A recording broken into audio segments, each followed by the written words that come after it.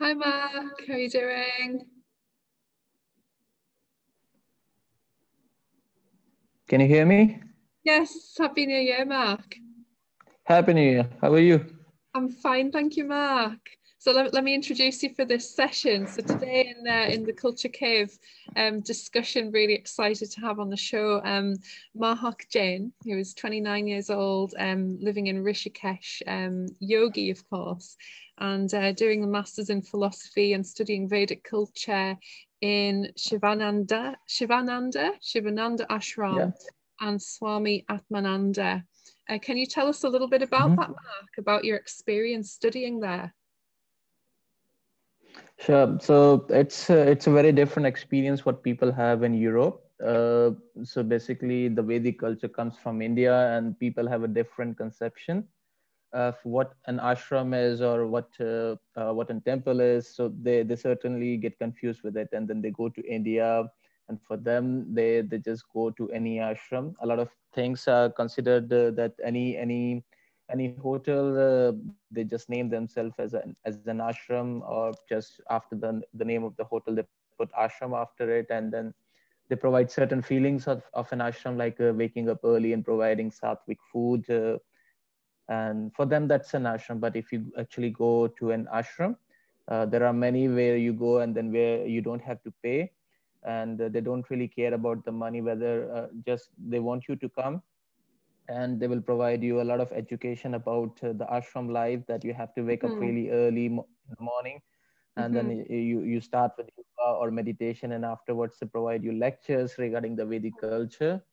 and then you have to participate in all the ashram activities along with helping in the kitchen or taking garden work or any kind of things what they are doing in the ashram mm-hmm. in return what you can provide them either you can provide them a donation uh, that's uh, that's up to you whether you like it or not uh, if not then you can just stay there as long as you want or you can speak to the swami there are many swamis or different swamis who are living over there who will provide you the education and then you speak with them further mm-hmm. and that's how your life uh, uh, is going through in an in an original ashram Right. So for anyone who's joining us today um, who isn't familiar with what Swami actually is, the definition of Swami is, is a person who has renounced everything and wants to uh, work towards the path of, of self-realization uh, where the material world no longer matters.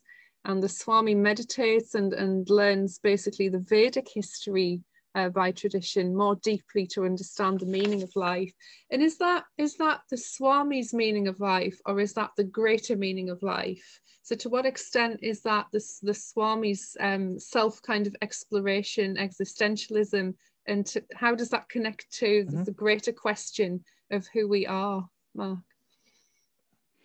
Okay, uh, so when we talk about that, your purpose of life or the greater purpose of life, it's one and the same thing because once you understand what really makes you happy, then the world becomes happy to you. The, mm-hmm. the question comes when we try to understand what's your meaning of your life and what's my meaning of life, what's the, what's the greater meaning of life. Everyone uh, everyone will start asking this question when when they get into spirituality and when they get into uh, into philosophy. But see, if you try to understand yourself and if you make yourself better, if you try to make yourself happy, you started to see things uh, become becoming happy for you and for for other person as well. Because then your mind turns more and more into positive things the way you look at things it becomes positive instead of uh, getting a negative thought inside you. So mm. this is the main change that that comes into you when you try to understand the philosophy and the vedic culture that will teach you that how to be positive. When you try to meditate to remove all the thoughts which is coming into your mind that will lead to the future.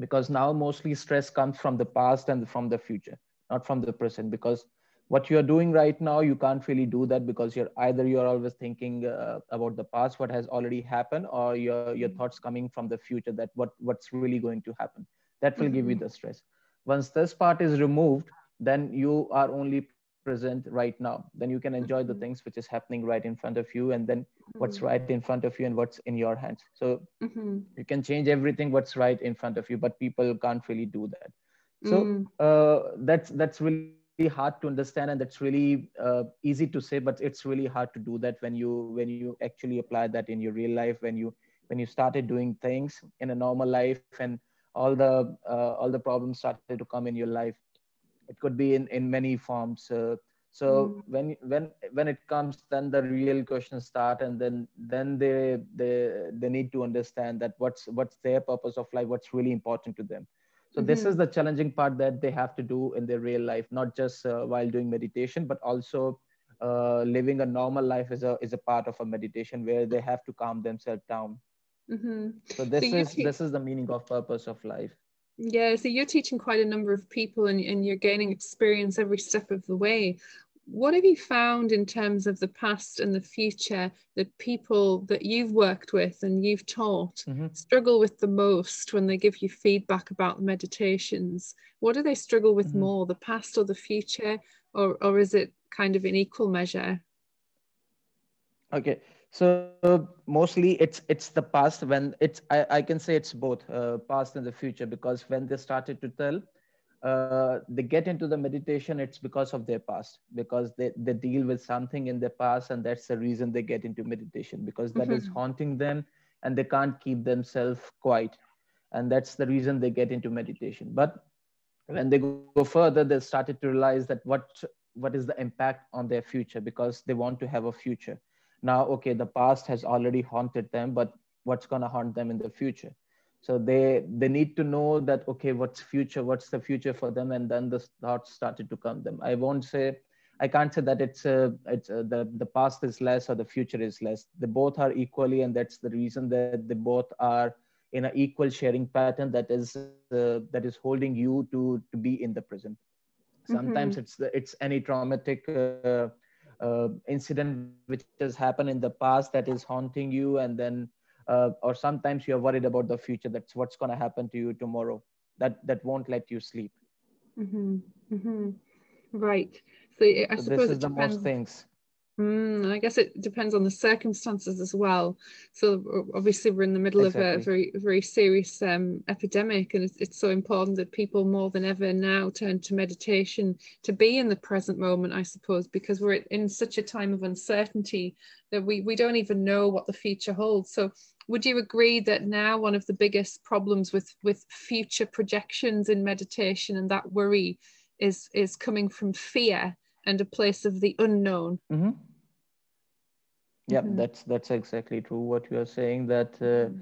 it's coming exactly from the future because we don't know what's gonna happen next. Everyone is worried that uh, uh, how things will be. Uh, they they are depressed and they are stressed just being at home, just working at home, and they can't go outside. Especially, it's more and more happening in Europe mm-hmm. and the West world because they are putting more lockdown, and then mm-hmm. people are just trapped inside I've also been into the same situation. When uh, in, in India we had a we had a lockdown for almost like six months, and then we were going crazy. And then I also had this feeling that I was going crazy because I I can't really go outside. And then I always try to be positive, but it was really hard to do that because every mm-hmm. morning I try to th- try to think that okay today i try to stay positive and then just let the, the day go goes by mm. but by the end of the day i started to realize that it's it started getting more and more difficult so right. so i can understand that how people are managing in this kind of situation it's it's not an easy situation not, not for me and not for anyone else doesn't yeah. matter whether they have a family or not but just to stay inside at home to mm-hmm. can't be outside it's it's a really difficult situation for mm. for all over the world right now mm. let's talk about yoga because um transitioning on from that what what's really interesting mm-hmm. at the moment i think is that the kind of um the kind of mental cycle that people are going through i i think is that you know people want to go out we're all social creatures of the earth kind of thing but at the same mm-hmm. time we can't we can't socialize as much as we used to and it, mm-hmm. i think it brings about this kind of hesitant thinking cycle would would you agree with that mm-hmm. yeah, um, yeah that's that, that's totally true mm-hmm. and that mm-hmm. brings me on yeah, to yoga on.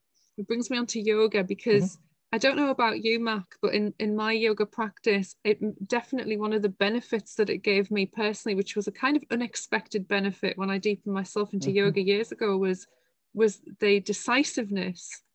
It helped mm-hmm. me to be more decisive, calmer in my mm-hmm. decisions, mm-hmm. um, more certain of my decisions. Um, Can mm-hmm. you talk a little bit about any any kind of experiences like that that you may have had with yoga? Okay, so uh, when when I talk about yoga and okay, so the yoga is different for the, for the Indian culture, and the yoga might be different for the Western culture. For them, they they treat them as a part of a sports as well, but uh, that's that's also a good thing. At least they are doing something just instead of just sitting at home and not doing something. So it gives you a punctuality. That's the first thing that you at least you are doing some things, and it's not even yoga if you do mm-hmm. any kinds of sports even if you do running or just walking it gives you ease of mind. It just gives you uh, a calmness that you feel happy afterwards. Because just by sitting at home uh, you started to go into a deeper state which which might give you a moody effects inside you or it gives you a mood change or it, it gives you a negative uh, times. But when you started doing something as sports and then uh, your body started to work out itself and uh, your breathing get faster. So then you, instead of thinking anything else you just control on your breathing because then you're just looking at your breath you're, you're feeling your breath. So while doing yoga you might have seen that when you hold the position mm-hmm. you're engaging your whole body and then your breathe get faster. So at that time you try to control on the breathe you try to focus on the breathe and try to make it calmer so these things will help you when you do that in your daily life. It becomes a practice. And when you when you start doing it in a, in a daily routine, it, it gives you a mental effect for your daily life as well. The, then you start uh, doing the same things uh, while working normally. When mm-hmm. you speak to a person, you started to feel that your breath getting getting faster when you when you get angry or when you when the ego started to kick in. But mm-hmm. so this is this is the small small changes that you started to feel but obviously you can't just do that okay that if you do yoga once a week or maybe once a month and then you started to see the changes. No it has to be on a daily basis. I'm not doing that you have to do that one hour two, uh, two hours a day. Maybe 10 minutes or 20 minutes can can be a good start. And it's yoga is not about just doing the asanas. You can also do just some pranayama. So that will help you to relax the mind that will help you to relax the stress as well. And then obviously you're just calming your breathe in that and then you're working on your breathe patterns mm-hmm. and then afterwards if you feel like just go on the meditation if not just pranayama is enough but if you want to to have a full picture mm-hmm. yeah. generally we start with uh, with with yoga and afterwards mm-hmm. uh, when our body is tired we try to calm our breathe with pranayama and then afterwards we go to meditation because then our mind is tired and then it will it will think less about the thoughts and the future and the past mm-hmm. Mm-hmm. Yes, absolutely. Um, the fire breath is is has been a, an interesting topic actually. So, um, mm-hmm. can you first of all can you t- tell us a little bit about the breath of fire and and how it's how it's used in in yoga practices for anyone who isn't familiar with it? Okay, so it's like the burning uh, heat inside you, and it's going outside and taking all the heat which is inside you, which is which has been generating all days because uh, you breathe normally. But when you when you try to do fire breathing, you're forcefully taking out this heat inside of your body and try to gain, uh, try to take the positive energy and the fresh air inside you.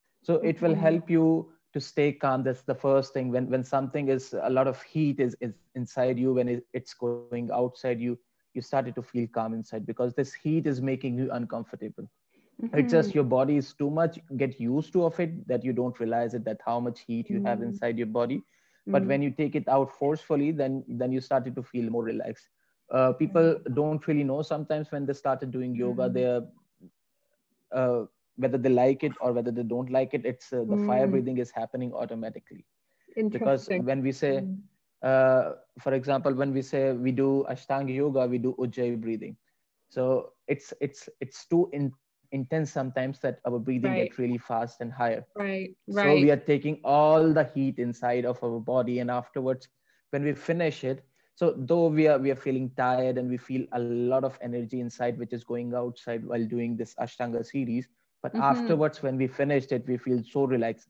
It doesn't take maybe more than two or three minutes that we started to feel energized, and then mm-hmm. we feel normal. Mm-hmm. And but so- if you do any other sp- sports, you feel that. Uh, when you play it you need more time to get relaxed afterwards. Mm. so that's a, that's a big difference. It's an interesting one. So depending on the, the country and the culture and um, some some yogis are still practicing fire breath and others aren't. Now of course you're in rishikesh um, one of the, the great centers of yoga but Um, mm. I was curious to hear whether there'd been any any news about that there about people that opted out of doing fire breath just because it was too intense for them, and what your views are on that. Should people push through even if it is uncomfortable?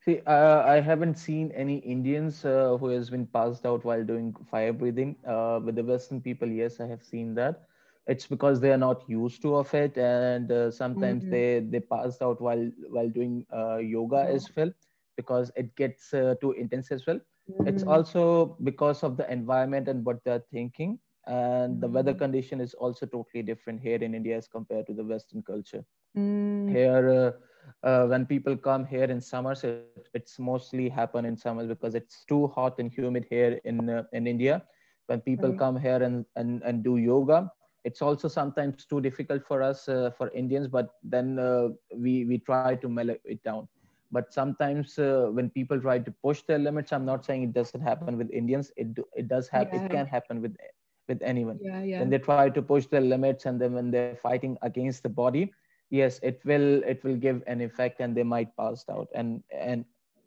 it it might can happen with anyone. Yeah interesting. Yeah. So is your view on on certain yoga practitioners and teachers in japan as well as the west who are not doing including australia actually who are not doing or excluding the fire breath from the practice altogether what mm-hmm. what would your message to them be or what do you think that's the right way to go about it or do you think that's a big mistake because it is an integral part of of the ashtanga practice uh, see, everyone has a different way of doing things. I would not tell them what to do, what uh, and what to do, uh, because there are different methods what they're using. And as I said, that the environmental, uh, the weather plays a big role. The climate plays a big role in that as well. I don't know how they do things over there in in the yoga rooms because here in India we don't have a, uh, you know, uh, the fire system here in India. Even if it's winters, what the temperature you have outside, the temperature you have inside the rooms. We don't have heaters at home. So we do things as for that. And I don't know uh, how things are working over there. I haven't done yoga uh, outside in the West. So whether they do a Bikram yoga to make the room more, uh, uh, heat up the room, and then they started doing it.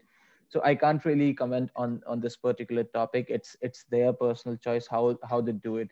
Uh, obviously, people have uh, uh, modernize yoga in a very different ways you know that now uh, earlier it used to be just one yoga it was only hatha yoga and then comes uh, ashtanga and iyengar now there are many forms of yoga which are coming and people are uh, traditionalizing it in their own way so that's their mm-hmm. own way of doing things and when people like it it's also a good part so everything has a bad side and the good side as well obviously when people there are people who will not like it because Indian, when you ask Indians, they will say, okay, that it should be in a traditional way.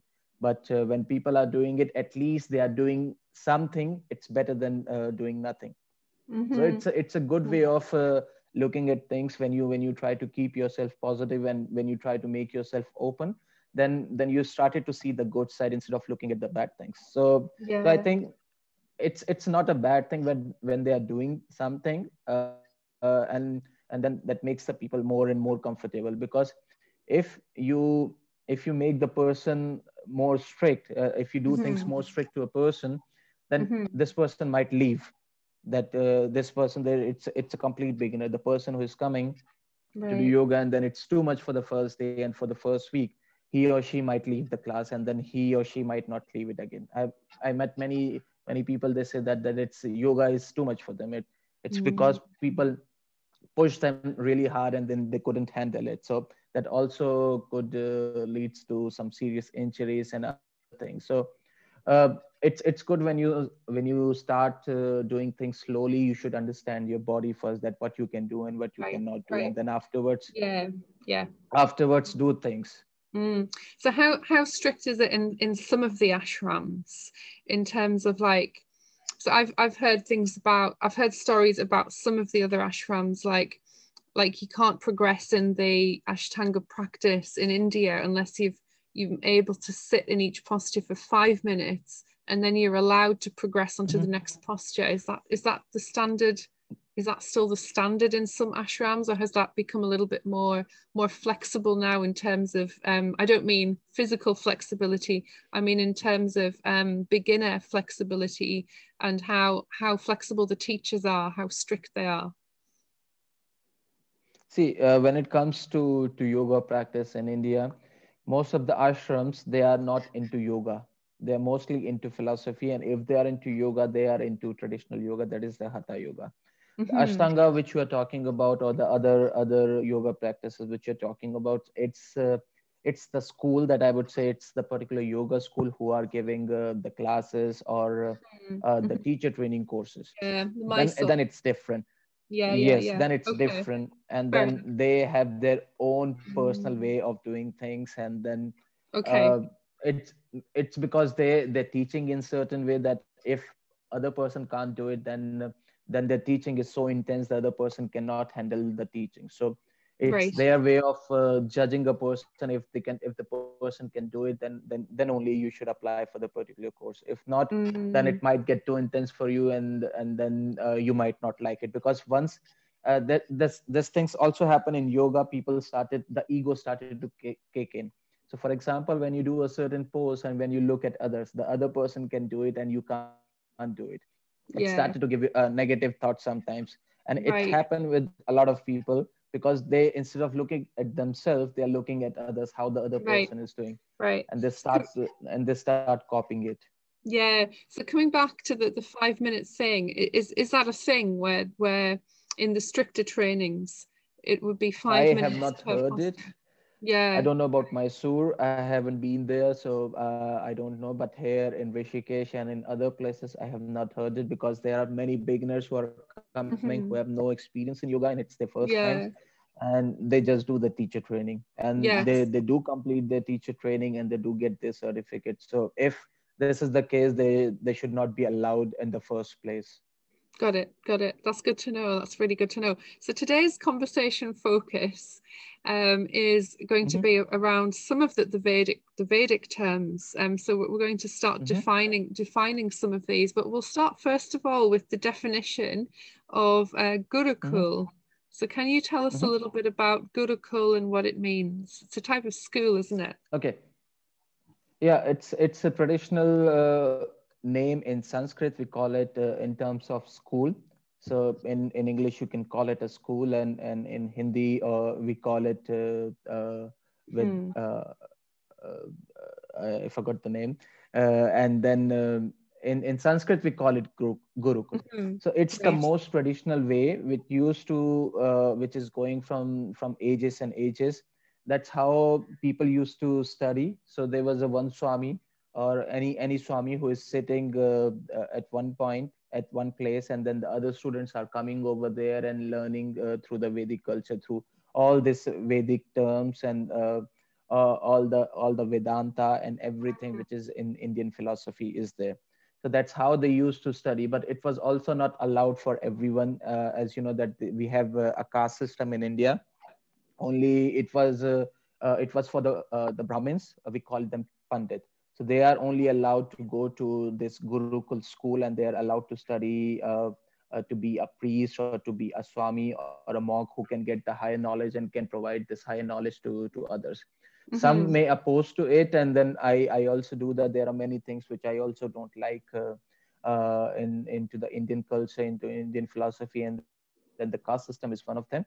But yes, Gurukul is the is the way of teaching uh, to the students in a very basic way there was a no no uh, mm. classes which uh, which was happening uh, inside the the doors it was always things are uh, happening in open so mm-hmm. the most basic one is that there were there is a one tree and the and the mm. guru or a swami is sitting under this tree and the, all the other students are sitting in front of him and mm-hmm. the learning learning the way how all the vedas and everything which is being taught by the swami or a guru so that's the, the literal meaning of Gurukul.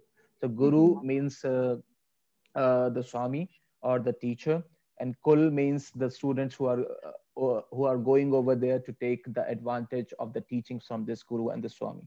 Mm-hmm. Beautifully explained. Thank you so much. And the next one, the next question is, um, can you tell us a little bit about Ramayana? Mm-hmm. So uh, Ramayan and uh, so Ramayan started. It's it's on the basis of uh, uh, we we can talk about there are three main characters where where it starts from. The one is Ram, and the the brother Lakshman, and the Ram got uh, married uh, to to Sita. So afterwards, what happened? There was a biggest devotee of uh, of Shiva, whose name is whose name is Ravana. So he he saw Sita and then he uh, he said that okay, I want to have this woman. If I can't have her, eh, no one can have her. So he kidnapped uh, Sita, and mm-hmm. afterwards he he tried to keep her in custody uh, to make sure that mm-hmm. okay, she will not run away. And mm-hmm. until she say yes, he will he. So he have his own principles as well. So though he has kidnapped her, he hasn't even touched her because he until she said yes uh, he can't do anything without uh, her own will and uh, he was the biggest devotee of shiva so he has a lot of powers at that particular mm-hmm. point of time so that was he was right. the biggest uh, uh, asura we can call it uh, one of the devils you can also call it so he was one of the biggest devil at this point of time and then ram and ramayan went on went on 14 years of extension. So it was given by his uh, one of his aunt because there was another brother who wants to sit on the throne, but uh, his father uh, gave the throne to Ram. Uh, when she get to know, when when the aunt get to know, she she tried to trick uh, the father, and then she said that okay, I tried to help you in the past. Now you gave me one promise that you will do anything whatever I ask for. So she asked for the throne to to one of his uh, one of his another brother that uh, Bharat, Ram brother Bharat, and then he gets to sit on the throne, and then Ram and Ram, Sita, and and Lakshman gets to to go into 14 years in in jungle. And mm. afterwards, when this this incident happened, when Ravana, Ravana took uh, Sita, and afterwards all the wars started to happen. That Ram and Lakshman wanted to save Sita, and then they started to build their own army where the Hanuman comes in. He wants to, to help uh, Ram to, to get back Sita. And then this all started going on in 14 years when, when they tried to fight uh, Ravana uh, to get back Sita. And when yeah. actually actually the war happened, mm-hmm. Uh, Ram Ram killed uh, Ramayan. There's a long story which is going on because if I go in details, then it has a lot of things inside it. But yeah. the main story is Ram and Lakshman uh, Ram is married to Sita and Lakshman is the brother of Ram. They try to, to save Sita from, uh, from Ravana and at the end they, they kill Ravan, uh, where Ravan is coming from the Sri Lanka, where you go that uh, uh, you can also see a lot of traditions which is going on with the, uh, with the Ravan. Mm. And right. they, they, they, they, they have been walking from India to Ravana to to Sri Lanka to kill Ravan and the war where the war happened, and afterwards uh, uh, they they get back Sita, and afterwards they came home in India, and that's how the Diwali culture in India comes from from this Ramayana. Because, really? yeah, yeah. So the yes. festival of lights. Yes. Exactly. So people were so happy about it that they started uh, uh, lighting their whole area, their whole village, their whole town, and everywhere in India when they get to know that this thing has happened. So mm-hmm. uh, the whole India was brightened up with the lights. So that's where mm-hmm. uh, Diwali came from. Just bec- before Diwali, there was another festival. We call it Dashera. It's it it lasts almost like ten days, where there's a lot of carnivals which is happening in different parts of India, where yeah. they also burn uh, uh, the statue of Ravana just to to to show that uh, uh, there is a the, there's a win over this devil, and then now we can we we are ready to go and celebrate Diwali. Mm-hmm, mm-hmm. So, two, two is, uh, yeah, two yeah, questions yeah. here. Sorry to put you on the spot. Um, but if, for people who want to learn more about about uh, Ramayana, where where mm-hmm. can they read? Where, where would you direct them to for for people who want to learn so, more about this? So there are books. Uh, when you want to learn through books, there are books related to Ramayana, and uh, obviously it might get difficult so the best way they can do it there is a there's a series available it's there there is a hindi series also available which has been subtitled into different languages or mm-hmm. there is a cartoon series which is also available in english or or into different language or subtitle where people can watch and uh, able to learn uh, in a in a very good way about Ramayana. So mm-hmm. because it's a it's a very long series, you can't just uh, just do that in one day. You need a long time to understand the culture, to understand the uh, the different roles of different people, and obviously it will it will really difficult for them to digest and at the sure. because how how the powers is coming in the picture because people have not really uh, used to of uh, hearing that okay this this mm. person is a is a god and then right. this person has this kind of powers and doing these things right. so uh, i also get to hear this from other western people when when i try to tell them when they ask about shiva when they ask about other other gods and then they ask uh, do do they really have powers but it's it's similar like when they when they talk about uh, jesus or if they have any other gods in their own tradition yeah so yeah. so it's it's it's their beliefs i i don't mm. say that this mm. person mm. is uh, there is no jesus or there is no shiva sure it's sure, our yeah. belief believe sure it's kind of non-dog- non-dogmatic yeah exactly. of course yeah exactly coming back to the question of the, the publications are there any are there any specific mm. publications that you have in mind or that you've recommended before to people and this series that you recommend mm. is it simply called the series of ramayana or are there are mm-hmm. there other um are there other spin-offs to that or what is the actual name of the series uh, the series name is Ramayana, as per as the name suggests, because uh, that's how people remember it, and that's mm-hmm. that's how people uh, uh mm-hmm. tell to others. If they say Ramayana, mm-hmm. for for us in India, uh, we get to te- uh, we get to learn that in school. It's it's a part of a subject, so mm-hmm. where we get a small book uh, it's in the in the form of a cartoon as well so mm. people don't uh, the students don't get bored and then they get to hear the story from the teachers and afterwards we have to give exams so whether we like it or not it's it's in our head. We no one has actually uh, sometimes people not, not really have studied as well. Mm. they just mm. see that uh, in the form of a tv so when it comes to books mm. there is uh, there is one publication which is uh, formed by uh, Gita Bhavan. Uh, wait let me just check uh, check the name of this series uh, this, this publications. Yeah spelling would be useful Mahak because these spellings are very complex exactly yeah and my, my second so, question while mm-hmm. we're researching mm-hmm. that is um mm-hmm. the connection between Diwali and Ramayana, so the birth of the Diwali festival. Where can people find out more about that? so it's the end of uh, the series where when you watch Ramayana and when right. the series end that will leads to that why people mm-hmm. actually celebrate Diwali. Okay. Uh, when okay. yes, so the, when you when you started to come to the end, when then then you started to realize when the Ramayana ends why people were so happy and why they started to to uh, to light up their whole uh, houses. We call it diya.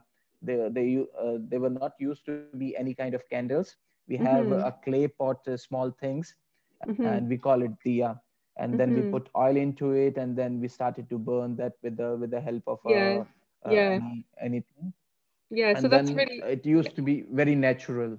Yeah so that's really cool. So basically the conclusion of the ramayana series becomes the birth of diwali and how that festival manifests itself today because it's still something exactly. exactly that's true. Right. so so the publication i was talking about here there's a very good publication. It's called mm-hmm. gita press. So uh, i will spell for you. So it's g i t a gita and press p r e w s press and uh, they are from gorakhpur that's one of the uh, one of the state in india it's uh, the name is g o r a k h p u r Gorakhpur. So this is a publication where they produce a lot of books, uh, mm-hmm. uh, everything which is related to Indian philosophy, Indian mythology, and everything. And then you can go ahead and you can uh, you can search on it, and uh, you can find it easily. You can find it uh, online as well, and then you can find the hard hard copy as well, and the other things which I told you that you can go online you can easily find on youtube as well the series are completely free that you can watch online there's a there's a series uh, which is a old 1980s and 90s series that you can watch or you can watch it in the form of a cartoon as well mm-hmm, mm-hmm. fantastic um, next let's move on to um, Mahabharata. Can you tell us about mm-hmm. that? Okay, so uh, that's uh, so Ramayana was older, and the, then comes the Mahabharata. There's a there's a difference. So when people really ask that which is older, so Ramayana was much older, and as compared to to Mahabharata. Uh, now Mahabharata is uh, something around more than five thousand years old. I don't know the exact because when people say a lot of things, but uh, there is not particular uh, a time gap for this particular Ramayana and Mahabharata. So Mahabharata is uh, is also another series where it focuses on five brothers. We call them Pandavas. So Pandavas in Sanskrit means five, and uh, the another uh, brothers which are like hundred brothers, Kauravas. So it's mm-hmm. again uh, so this this series uh, focus on the empire of uh, of property that that one gave this property to to the five brothers, but the hundred brothers were not agreed to it and they wanted to fight for it and and they they take this property with the with the trick and mm-hmm. there was uh, one of the uncle of uh, of Kauravas they they try to play a game a gamble you can call it and then this this uncle uh, has some kind of dice uh, so when they were playing this game so whenever they they throw this uncle throw the dice and it comes to to in his favor and the Pandavas lose everything what they have just because of this uncle. And afterwards, when they get to know that it has been tricked, so they were so angry and then they wanted to get everything back. And then that's how the fight happens. And this happened in Kurukshetra, which is also, which is in India, not, uh, uh, not too far away from Rishikesh. And the fight actually happened over there and it runs for a very long time. And uh, so the five brothers killed uh, the Kauravas, Kauravas and afterwards to gain the empire and afterwards uh, everything went peacefully now mm-hmm. the biggest part of the mahabharata is uh, uh, arjuna so there was uh, one main character that is arjun who who is also the main uh, fighter in in this fighting series. Mm-hmm. now he he didn't wanted to fight because he said that i i don't really want to fight my own brothers because the 100 brothers which they are talking about it's mm-hmm. also their own brothers. It's it's a it, in the form of a cousins. And he said that I, I don't want to kill my brothers. And i just want to to go to himalayas and uh, and uh, i just want to meditate. I don't want to make anyone's wife a widow. I don't want to make anyone's family uh, to lose their son because when the fight will happen he has to kill a lot of people and a lot of people will get killed. So he he really didn't want it to do that. And the another main character is krishna. So mm-hmm. that's that's a god. Uh, he tried to explain him that okay it's it's your uh, duty to do these things. When you have been bo- when you have been born as a kshatriya that's another form of a caste system which i and how, uh, how are you spelling that before. word? How do you spell that word Mahak kshatriya. Kshatriya you mean? Yes. so it starts with k it starts with k s h a t r i y a kshatriya. The k okay. is silent in that. Yeah. So his duty is is to fight and and and to do the rightful things so he mm-hmm. explained arjuna and then he said that i will become uh, uh, so they have the chariot and he said that i will become the chariot person for you and i will guide you in your whole journey while fighting uh, uh through the fight and then he tried to explain everything he said that i will not even touch uh, my finger to anyone because if Krishna wanted that he he could win the battle just with with one finger. But he said that I will not do anything. I will not be a part of the fight, but I will be the one who will be guiding you.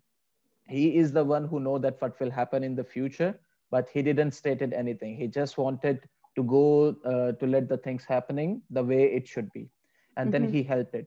So the, the conversation between Arjuna and, and Krishna, which happened during the whole fight, is uh, is it has been written into uh, Bhagavad Gita. So Bhagavad Gita, uh, which is the basic form of uh, Vedic studies, uh, which we call it also Vedanta. It's the base of it. It comes from Mahabharata. It's it's a small part, but uh, a conversation between Arjuna and Krishna, where he tried to explain when Arjuna said that he he really don't want to fight they were uh, in the starting point of the fight and where, where arjuna said that I, I really don't want to fight i really don't want to kill my brothers and when krishna started to explain things why he should do that and what what's your really duty is So that's everything. It has been written in the form of uh, Bhagavad Gita.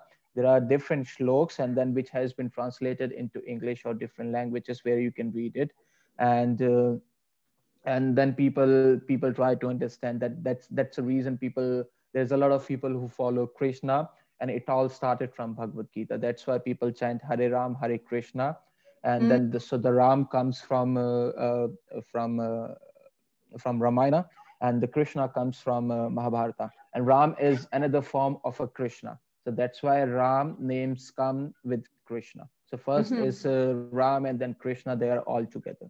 Mm-hmm, mm-hmm. That answers my next question, then that's great. So the last theme we're going to explore today is uh, Chanakya Niti. Can you talk mm-hmm. about that? So when we talk about Chanakya Niti, uh, it's it's also a monk or you can say a swami who is very mm-hmm. well uh, educated and then he he took his education in in gurukul. But you know that uh, the fingers are not all together. There's always one who is above uh, other person. So he was one of them and then he has his own brain and then uh, people can't really understand that uh, in in his childhood because his way of doing things is is way different than the other things. And when he started to grow up as his, his brain also started to grow up. So he used to be one of the person who has been uh, uh, asked by everyone because when there is a war happening when there is a fight happening everyone is asking for his kind of strategies because it was so unique that no one can figure out that it can actually happen or not. His way of thinking is is way beyond different things. That's why people started to to to apply his logics which he is being writing into vedic studies. He he has been contributed himself into different different books and different uh, uh vedic studies that his mm-hmm. his strategies is mainly used in terms of fighting and in terms of running or uh, ruling a country or running any any kind of thing so so basically that's why niti means strategy and uh, the name of the person was chanakya so when we say Chanakya Niti, that means Chanakya strategies. So if you have any kind of problems so when when you when you don't know how to do things, people people just go to him and ask for his kind of strategies that what he will do when he will be in in in in, in the other person's shoes and mm-hmm. the way he start telling things it's completely blown away the other person because his strategies mm-hmm. are way different than uh, than the other person mm-hmm. in a good so way that's the basic meaning yeah in a good way so, mm-hmm. uh, for example, is one thing he said that uh, uh, to become a clever person. So now, when we say clever, uh, some person will take it in a positive way, and some, pers- some person will take it in a negative way. So mm-hmm. now he doesn't say that in a negative way. He said that okay. So, for example, when you want to be clever, for example, if you if your life is in danger, so obviously you can't just give away for uh, your life you need to be clever in this kind of situation that doesn't mean that you have to outrule the other person or that you have to fool the other person or you have to show the other person that okay i'm superior to you it means that whenever you need you need to do everything that will save your life so mm-hmm. these kind of things he has been giving to people which people were not thinking because they were too innocent to think of uh, certain things that uh, they will give away their life. But he said that no, your life is most important. If you are alive then you can do more things. But if your life is too small that you give away for any kind of small things then what's the use of this life? You're no you're no less than one um, to an ant or any kind of animal which we are killing just for for a fun. So you have to be clever when it's necessary right right a bit of a wider question now so um in terms of like the epidemic and strategies talking about strategies coping strategies for the epidemic and also things that you've learned at the ashram that have helped mm-hmm. you how how has your relationship with yoga and meditation changed or what is, mm-hmm. what has come to the forefront in terms of reflections um this well i say this year we're in 2021 now but over the past 12 months of this this journey mm-hmm. okay so uh, first I will start at how how I came with yoga, uh, and afterwards I will I will go further that how mm-hmm. these twelve months uh, is with me. Mm-hmm. So before like any other person, I, I, was living in Delhi, and then the life was normal for me, like working in a corporate sector and working mm. for the big firms and earning money.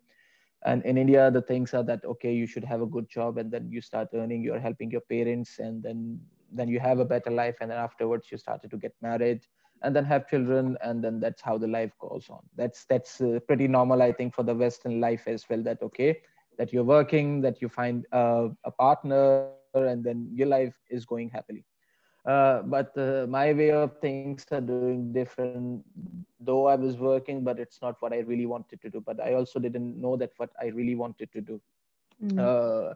and then i was thinking of doing something else uh, I didn't know what I really wanted to do. So that was haunting me for a long time because I think a lot. And afterwards, I thought, okay, it's too much for me.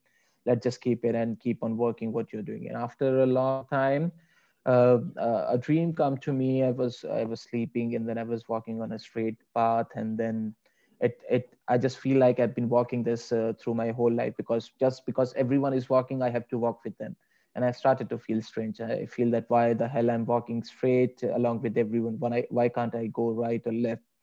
I just took left and then take a detour, and then I started walking in a forest. I start again. I was walking, but at least I was happy because I was just being myself. I was being, I was in the nature, and I can just do anything I want. Uh, that I know.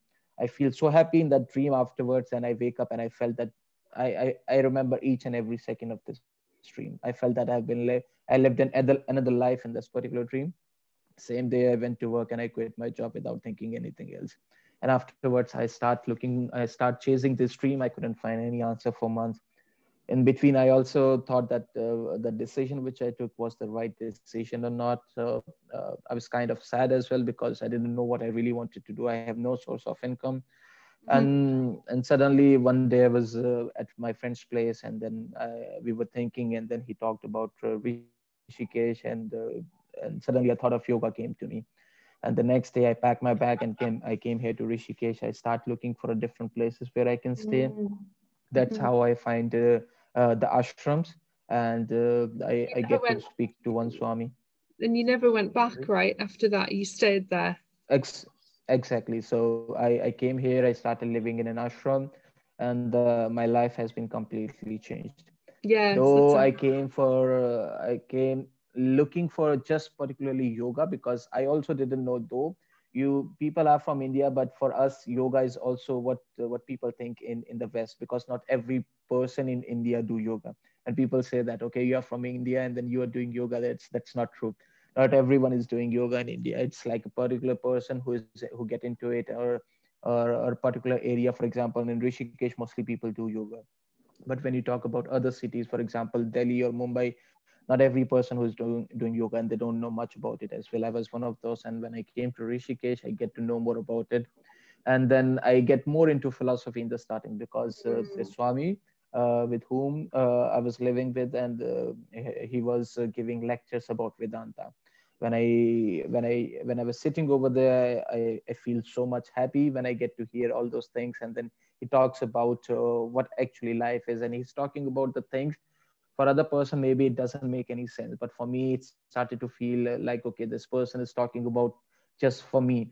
I don't care about what he's talking about the other person but i started to feel that he's particularly talking about me when he started to to say things when he started to give example.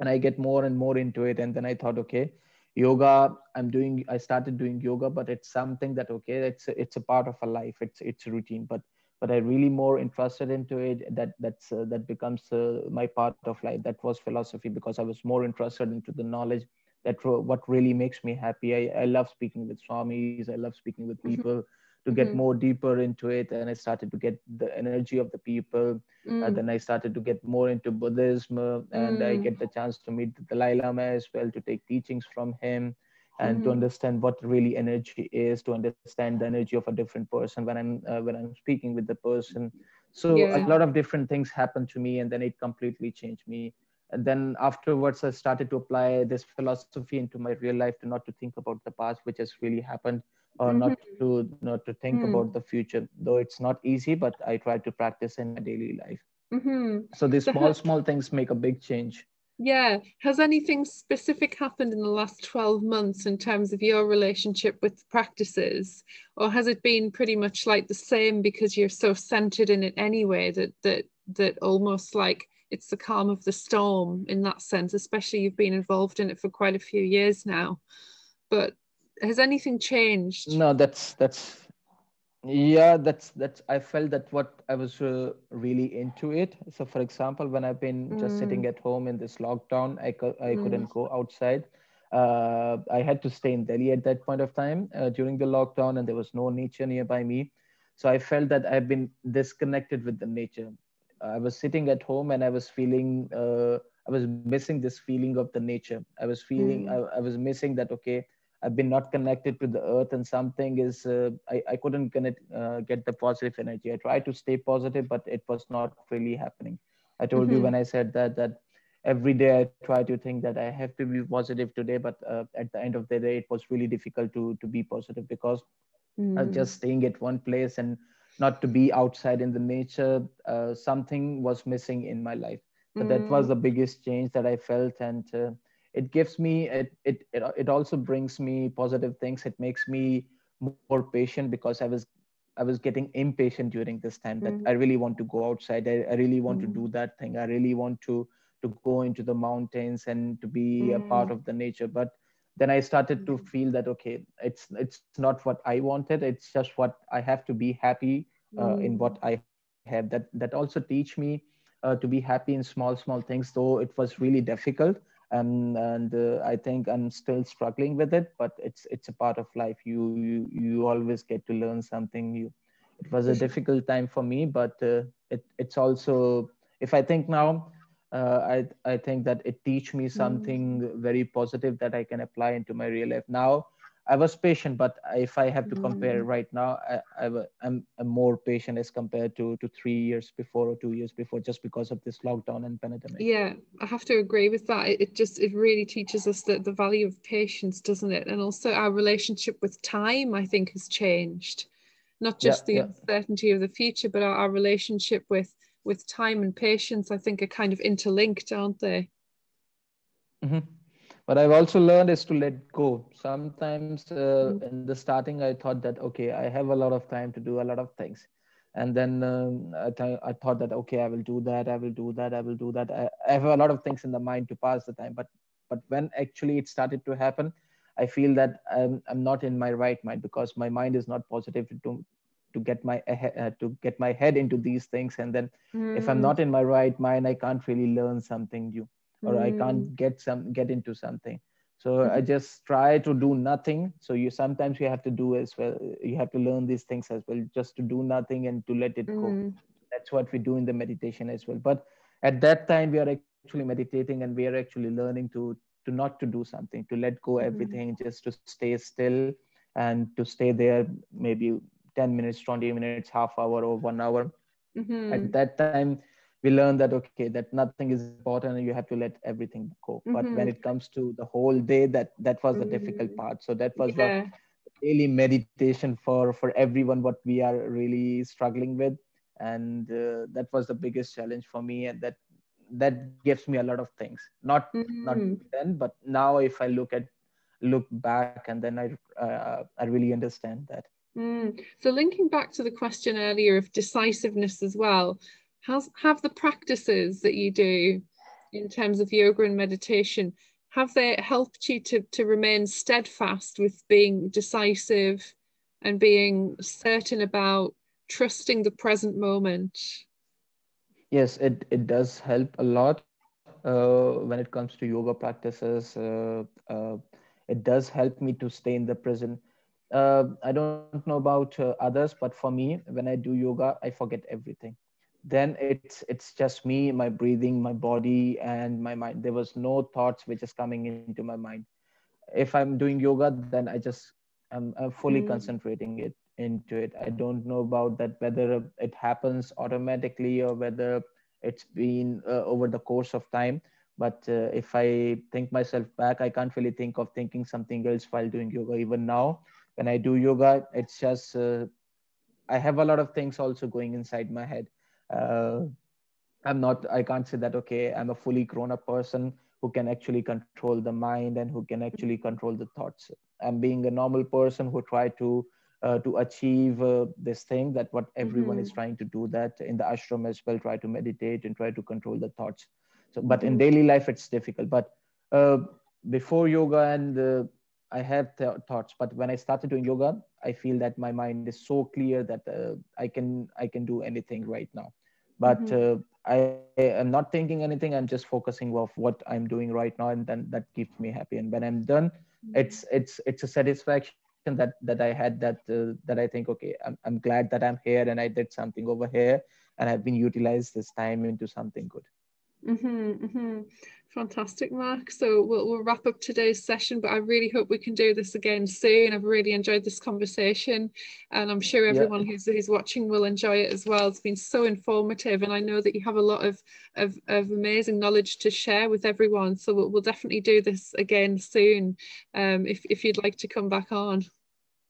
Yeah, yeah, definitely. It was a good time uh, with you, Gabby, and and uh, i'm glad that people really wants to learn about the indian culture and then you're mm-hmm. also interested about it. That's why you're doing this session. Mm-hmm. uh, and uh, i'm grateful that i can provide this knowledge uh, the indian knowledge and the vedic culture knowledge to other people. And it it, it can help in in any way possible. That that's a good thing because when the other people is happy that makes me happy yeah, that's so nice. Thank you so much, Mahak. And uh, I'll, I'll talk with you after this session as well. So uh, thank you very much. Do you have a final message? We've got about one minute left. Do you have a final message to add? See, uh, that's what I say to myself, and I will say to other person: just stay in the present and be happy. There is mm-hmm. a lot of worries which which has been bothering us, but uh, just just live the moment what you have right now because it will not come back again. Mm-hmm, mm-hmm. Yeah, and they always say as well, this, the what, what's the saying? Um, it's impossible to step into the same the same river twice. Yeah, exactly. It's always moving. It's always moving, always changing. Uh, the flow, the flow of yeah. life and yoga and, and breath and uh, yeah, beautiful. Thanks very much, Mahak, and uh, we'll see you next time. You've been watching the Culture Thank you, Cave. Gabby. All right. Bye-bye. Bye. Take care. See you.